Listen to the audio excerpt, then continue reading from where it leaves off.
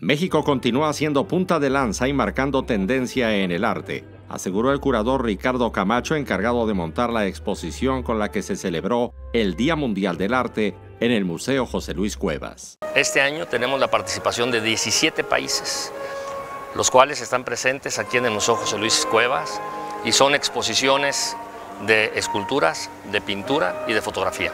Entonces, este contexto internacional hace un concepto un tanto diferente y hay unas palabras que dijo el señor embajador de Turquía y dijo, hoy con todos estos países participando, con toda la situación que hay en el mundo, creo que este Día Mundial del Arte se convierte a su vez, todos nosotros, en la República del Arte.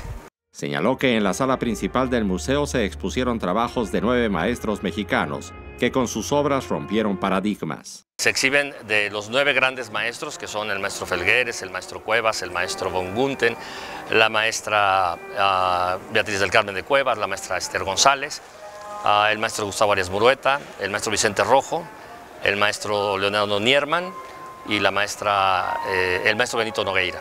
Entonces estos nueve es la sala principal y son gente que yo creo que representan a México, representan al arte contemporáneo, son gente viva que sigue creando, muchos de estos son eh, superiores a los 80 años de edad, son de la época de la ruptura.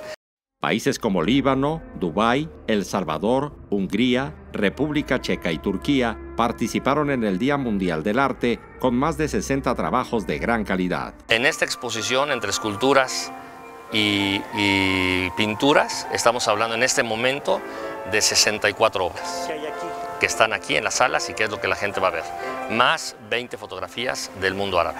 El Día Mundial del Arte se celebró el pasado 15 de abril, día establecido por la UNESCO para conmemorar el natalicio de Leonardo da Vinci, el máximo expositor del arte renacentista. Con información de Luis Galindo y Gabriel Vaquero e imágenes de Enrique Romero. Notimex.